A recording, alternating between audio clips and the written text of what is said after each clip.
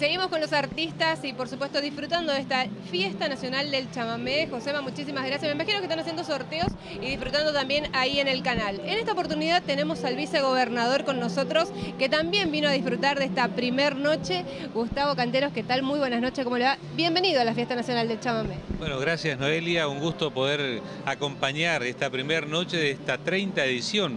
Vamos por 30 años y seguramente por muchos más en esta fiesta que tiene que ver con la identidad de un pueblo, que tiene que ver con nuestra cultura, que tiene que ver con la expresión que se representa en nuestra música, en nuestra danza, en todo lo que es Corrientes, con turistas que se dan cita y que participan noche a noche de estos espectáculos que son únicos. En esta oportunidad se eligió solamente artistas locales. Van a haber 10 noches con artistas obviamente consagrados, pero solamente locales para que la gente venga y pueda disfrutar, lo que es lo que siempre se quejaron. Sí, bueno, se quejaron los artistas, ¿no es cierto? Y la gente también.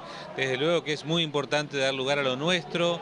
Esto, por supuesto, refuerza la identidad, refuerza lo que es nuestra provincia, refuerza nuestra música interpretada por los nuestros, como se dice comúnmente.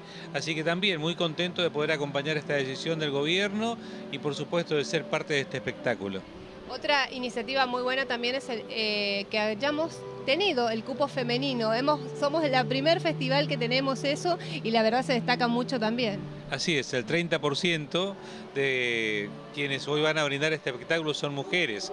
Inclusive nosotros desde el Senado también vamos a brindar un reconocimiento, un homenaje fundamentalmente en las personas de cuatro grandes, nuestras embajadoras, como son Teresa Parodi, como es Ramona Galarza, como es María Ofelia, Ofelia Leiva y cuantas otras más que llevan y que han llevado y que siguen llevando nuestra música en cuanto rincón existe del planeta.